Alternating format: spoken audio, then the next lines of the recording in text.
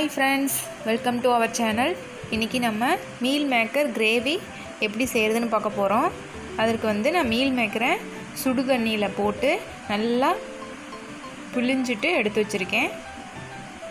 பாருங்கள் சுத்தமாக தண்ணி இருக்கக்கூடாது. நெக்ஸ்ட்டு வந்துட்டு சின்ன வெங்காயம் ஒரு கைப்பிடி அளவு பூண்டு சிறிதளவு இஞ்சி பெரிய வெங்காயம் சிறிதளவு ரெண்டு பச்சை மிளகாய் தேவையான அளவு கருவேப்பிலை ஒரு தக்காளி. நெக்ஸ்ட்டு வந்துட்டு நான் இன்றைக்கி சிக்கன் மசாலா எடுத்திருக்கேன். தேவையான அளவு கொத்தமல்லி தூள் சோம்பு சிறிதளவு மிளகு. தேவையான அளவு கல்லுப்பு தாளிப்பதற்கு கடுகு நல்லெண்ணெய் எடுத்திருக்கேன். வாங்க எப்படி செய்கிறதுன்னு பார்க்கலாம். அடுப்பு ஆன் பண்ணிவிட்டு பேன் வச்சுக்கோங்க. ஒரு மூணு ஸ்பூன் அளவுக்கு நல்லெண்ணெய் விட்டுக்கோங்க. எண்ணெய் காஞ்சதுக்கப்புறம் கடுகு போட்டுக்கலாம் நம்ம.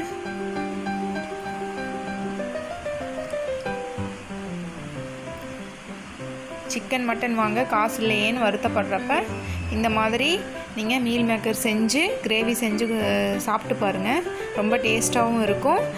நான்வெஜ்ஜு சாப்பிட்ட ஃபீலிங்கும் நம்மளுக்கு கிடச்சிரும். பாருங்கள் எண்ணெய் காஞ்சிருச்சு. கடுகு போட்டுக்கலாம். கடுகு வெடிக்கட்டும். நெக்ஸ்ட்டு ரெண்டு பச்சை மிளகாய் கருவேப்பிலை. அப்புறம் பெரிய வெங்காயம். எல்லாத்தையும் போட்டு நல்லா வணக்கிக்கோங்க. அது வணங்கட்டும். அடுப்பு சிம்மில் வச்சுட்டு அதுக்குள்ளார நம்ம வந்துட்டு இதெல்லாம் அரைச்சிட்டு வந்துடலாம். இஞ்சி பூண்டு சின்ன வெங்காயம் அப்புறம் நம்ம எடுத்து வச்சுருக்கிற தக்காளி. ஒரு தக்காளி போட்டுக்கோங்க. எனக்கு நிறைய போட்டால் புளிக்கும். அப்புறம் சிக்கன் மசாலா மல்லித்தூள் சிறிதளவு சோம்பு மிளகு எல்லாத்தையும் போட்டு கொஞ்சம் தண்ணி விட்டு நம்ம பேஸ்டாட்டாக அரைச்சிட்டு வந்துடலாம். நான் அரைச்சிட்டு காமிக்கிறேன் ஃப்ரெண்ட்ஸ்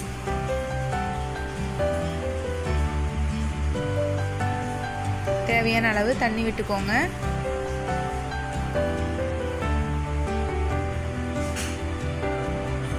இந்த மாதிரி பேஸ்டாட்டாக அரைச்சிக்கோங்க ஃப்ரெண்ட்ஸ் வெங்காயம் வணங்கிருச்சு. நம்ம அரைச்சிட்டு வந்த பேஸ்ட்டை உள்ளே மிக்ஸ் பண்ணிக்கலாம். எண்ணெயில் நல்லா வணக்கிக்கோங்க. தேவையான அளவு உப்பு போட்டுக்கோங்க.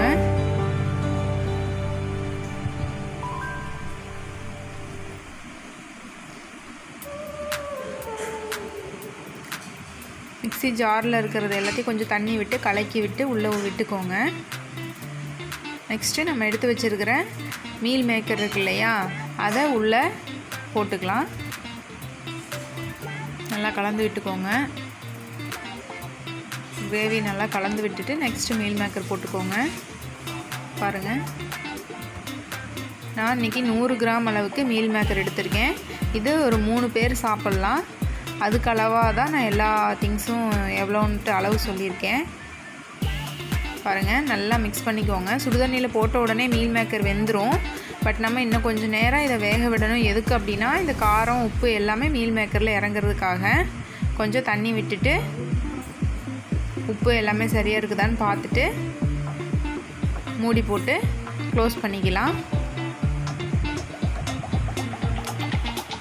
இப்போ வேகட்டும். இப்போ பாருங்கள் கொஞ்சம் தண்ணி வந்து கொஞ்சம் சுண்டிருச்சு.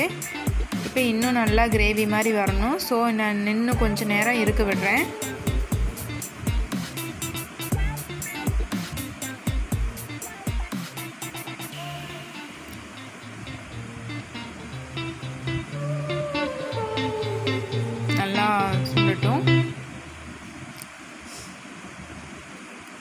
நான்வெஜ் எடுக்காத டைமில் இந்த மாதிரி செஞ்சு கொடுங்க. உடம்புக்கும் நல்லது.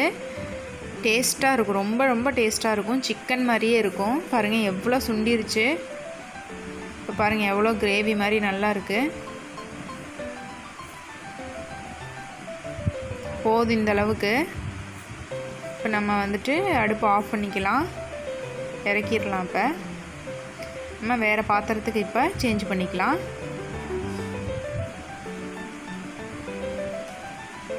சுவையான மீல் மேக்கர் கிரேவி ரெடி நீங்களும் இதே மாதிரியே இதே அளவோட நான் சொன்ன மாதிரியே செஞ்சு சாப்பிட்டு பாருங்கள் ரொம்ப சுவையாக இருக்கும். நான்வெஜ் எடுக்க அமௌண்ட் இல்லையேன்னு வருத்தப்படுற வருத்தப்படுறப்ப இந்த மாதிரி செஞ்சு சாப்பிடுங்க.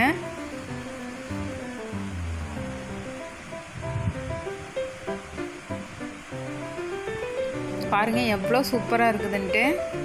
நம்ம இப்போ சாப்பிட்டு பார்க்கலாம்.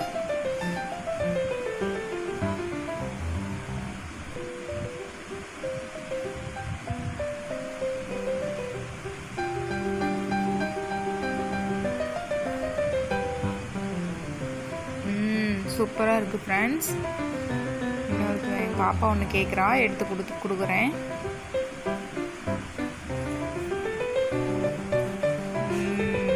சூப்பராக இருக்குது ஃப்ரெண்ட்ஸ் செம்ம டேஸ்ட்டாக இருக்குது நீங்களும் இதே மாதிரியே செஞ்சு சாப்பிட்டு பாருங்கள் செம்ம சூப்பர். ஓகே ஃப்ரெண்ட்ஸ் இந்த வீடியோ பிடிச்சிருந்ததுன்னா ப்ளீஸ் ப்ளீஸ் ப்ளீஸ் லைக் பண்ணுங்கள் ஷேர் பண்ணுங்கள் தேங்க்யூ